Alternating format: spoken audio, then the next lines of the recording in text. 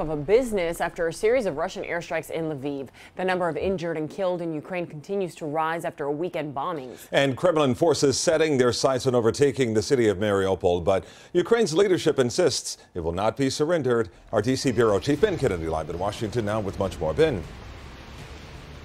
Calvin Nicole, moments ago, the Biden administration said Russia has launched a campaign of terror and brutality, and it comes in the wake of more civilian deaths. Firefighters scrambled to put out flames in Lviv Monday after an attack in the city.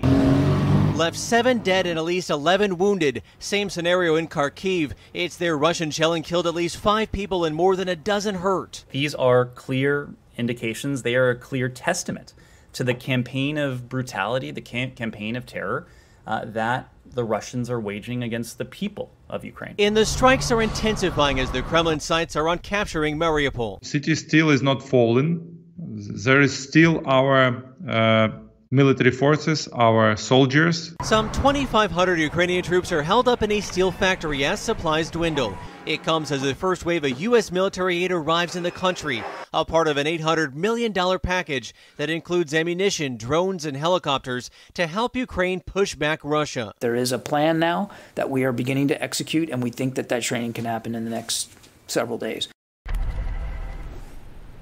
So to give a bit of a recap, Kirby says U.S. forces will begin training Ukrainians on how to use these American weapons, weapons they might not have used before, like the howitzer, which is a long-range cannon. That is the latest here live in Washington, D.C. Ben Kennedy, Local 10 News. Okay, Ben, thanks a lot.